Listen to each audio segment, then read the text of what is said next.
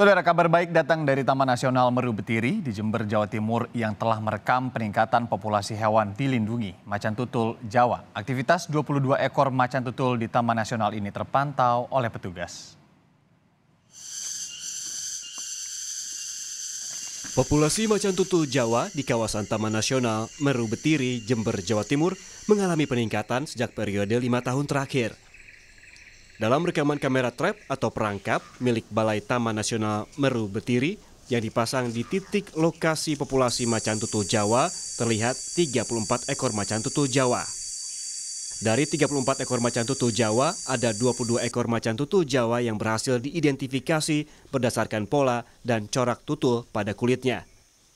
Bahkan, salah satu rekaman memperlihatkan dua ekor macan tutul mempunyai ukuran besar dan kecil yang diduga merupakan induk dan anakan yang belum lama dilahirkan. Peningkatan populasi ini dampak dari edukasi kepada masyarakat sekitar hutan tentang pentingnya menjaga kelestarian habitat macan tutul Jawa, termasuk beragam jenis hewan lain yang menjadi satwa mangsa macan tutul Jawa.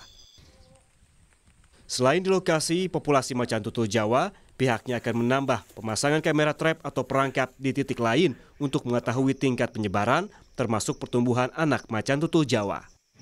Hasil analisis kami um, menunjukkan bahwa jumlah populasi hasil analisis ada 34 ekor, tapi uh, kami uh, Taman Nasional Mobetiri mampu menampung sampai 53 ekor macan tutul.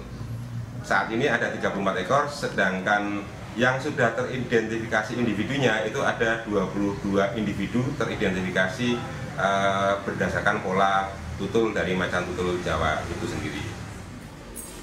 Balai Taman Nasional Meru Betiri akan terus melakukan pengawasan perkembangbiakan macan tutul Jawa, termasuk mempelajari perilakunya di hutan dengan luas 52.000 hektar.